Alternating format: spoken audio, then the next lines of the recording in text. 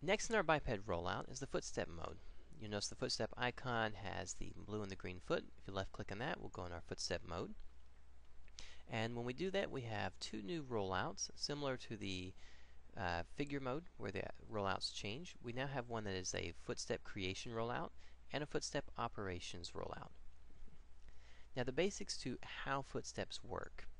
Um, for biped, we're going to be creating footsteps uh, inside the viewport. These footsteps are similar to a gizmo. These gizmos hold a position and rotation variable. And the foot is actually going to be trying to go towards those positions that we set inside the viewport for moving and translating the character. So let's start off with how do we create a footstep. Um, the footstep creation rollout is going to give us two options. There's actually three options for creating a footstep. The additional options can be looked at with our motion capture, where we can actually adjust uh, the import of motion capture. But the two that we have right here for footstep creation is going to be a single footstep creation at the current frame, and we have a multiple footstep creation. Next to that, we're going to see a state, a way of walking or moving our character. And the first one is going to be a walk sequence, the next is a run, and the next one is going to be a jump. Now you notice that as you click on this, the properties down here change. These properties are going to be called our timing parameters. Depending on the type of mode that we have set, if we're in walk, we have a walk footstep and a double support. Now, what do these actually mean? The walk footstep is saying that how long, how many frames do you actually want the foot to be on the ground during transitions? So we say for a walk footstep, each foot is going to be on the ground for 16 frames before it moves. The double support is going to be saying that I want both feet on the ground for three frames as it walks. So this is a way of actually adjusting the speed and the translation, translation between um, each footstep. Same as when the run, we have a run footstep. We're saying we want six frames uh, on the ground and we want nine airborne. And then with the jump, we're actually saying we want two feet down for at least five frames, and then we'll be airborne for 15 frames. So we'll go back to our walk. And we'll leave our timing parameters with a 16 and a 3. We'll use our single footstep creation. And we're on our zero frame for creation. And we'll left click on the viewport. You can see that we've set a green footstep. This is going to be used for the foot here. And then we can left click again to set another footstep. It's going to create a blue one for the left foot. And we can just work our way through. Set about five footsteps. Now you'll notice that when we set them, it's numbering them in order, back and forth. It's from 0, 1, 2, 3, 4, 5. So it's moving them from left foot to right foot, left foot to right foot, all the way through that order. Um, one quick note is that the display right now is set with a numbering order, and we can see that up here in our display options.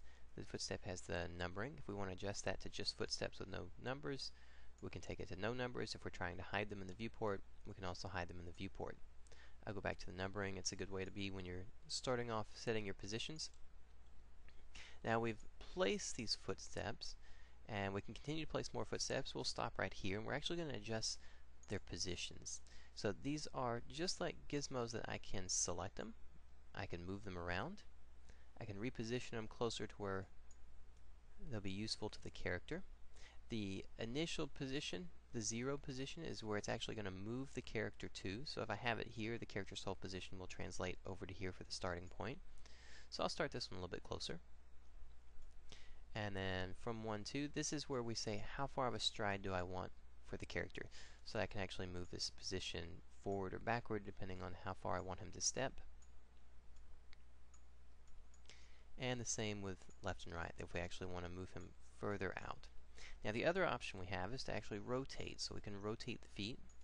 For instance, if we were wanting him to eventually start walking in a circle, we could actually move his position around so that he would start to walk around. Now if we've placed these feet and we go down to our timeline and we scrub through, we're going to notice that nothing happens yet. And this is because we haven't made these footsteps active yet. So we've made it through the footstep creation where we can actually set one at a time multiple and then the guide and then the timing parameters. But below that one, we've got the footstep operation. And this is where we actually turn the footsteps on so that we can see them working. So up here we have our create keys for inactive footsteps and I'm going to go ahead and select on that one and this makes all of our footsteps active and it also sets in the animation for our character. So if we go down to our timeline, scrub through, we can see the biped actually moving around and transitioning through. Now you may wonder, why did the foot go where it went?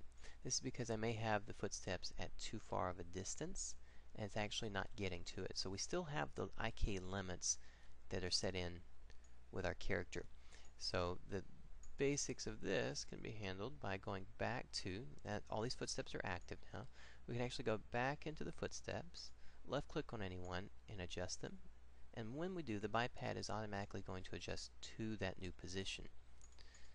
So we can go through these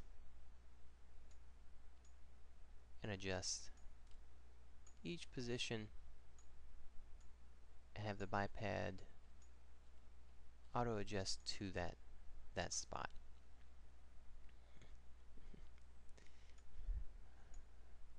Now the next thing we can do, we'll notice under the footstep operations, we can actually deactivate the footsteps. So if we deactivate the footsteps, they no longer become useful. We can also delete some of the footsteps by selecting on the footsteps when they are active and using a delete option for the footstep. We can copy our footsteps and we can paste our footsteps.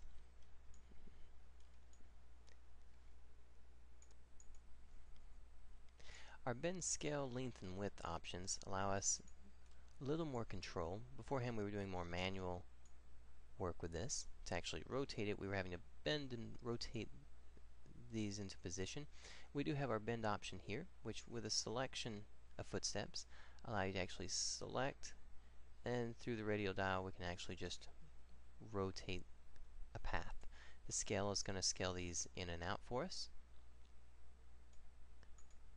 and we can adjust it either just by the width or just by the length on the scale.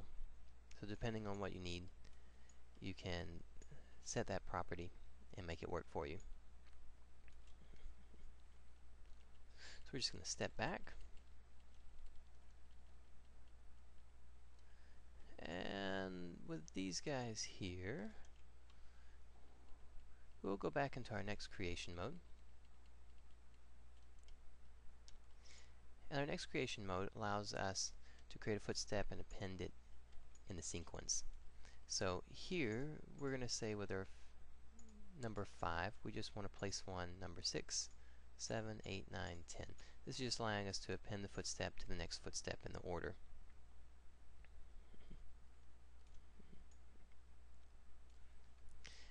We can also change out how we create the footstep. So right now it was set to a walk we can adjust that and have it to a run. So at this point, these footsteps get created as a run. Then you can set it to a jump and adjust from there. Depending on what guide you have set here is what footstep gets created inside the viewport. This is the basics of doing individual. Next we're going to look at creating multiple footsteps and the tools involved in that.